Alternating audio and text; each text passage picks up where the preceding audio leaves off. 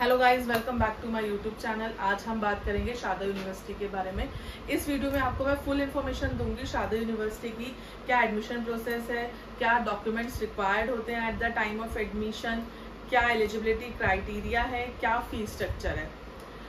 हाँ जी, आज Sharda university one of the best university है इंडिया में, जो ग्रेटर नोएडा में है।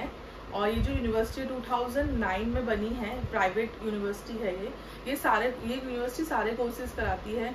लॉ मैनेजमेंट इंजीनियरिंग नर्सिंग से related B pharma D pharma सारे कोर्सेज ये कराती है। बीटेक में भी स्पेशलाइजेशन कोर्सेज कराती है बहुत सारे। जो स्पेशलाइजेशन कोर्सेज कॉलेज में बच्चों को नहीं मिल पाते हैं, वो उन्हें इन यूनिवर्सिटीज़ में मिल जाते हैं। शादा यूनिवर्सिटी जो है 63 एकड़ में बनी हुई है। बहुत बड़ी यूनिवर्सिटी है, बहुत अच्छा इंफ्रास्ट्रक्चर है और इसकी कनेक्टिविटी भी बहुत अच्छी है।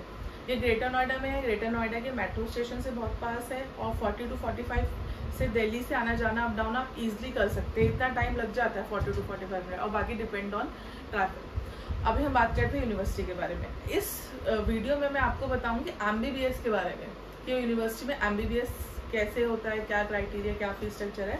बाकी नेक्स्ट वीडियोज़ में मैं इंजीनियरिंग लॉ मैनेजमेंट हर एक उस पर अलग अलग आपको बताऊँगी और फ़ीस स्ट्रक्चर भी बताऊँगी क्या रहता है। अभी हम बात करें एमबीबीएस के बारे में। एमबीबीएस पता है आपको कि नीट के पेपर के थ्रू होता है और जो यूनिवर्सिटी का जो एलिजिबिलिटी क्राइटेरिया है एमबीबीएस के लिए, वो इसमें आपको 50 परसेंट मार्क्स चाहिए होते हैं पीसीबी में फिजिक्स केमिस्ट्री एंड बायो में। और नीट क्वालिफाई करना कंपलसरी है। और जो एडमिशन होता है, वो यूपी नीट की वेबसाइट पे जो उनके थ्रू होता है काउंसलिंग के थ्रू उसी के थ्रू एडमिशन होता है। और at the time of documents आपको क्या क्या चाहिए होते हैं? Tenth twelfth character certificate category certificate passport size photo और जो काउंसलिंग से आपको लेटर मिलता है, जिसमें आपका एडमिशन में लिखा होता है कि आपको ये कॉलेज अलॉट हो गया है, वो लेटर लास्ट ईयर कॉलेज की जो कट ऑफ़ थी शादा यूनिवर्सिटी की जो कट ऑफ़ थी, वो 300 प्लस थी।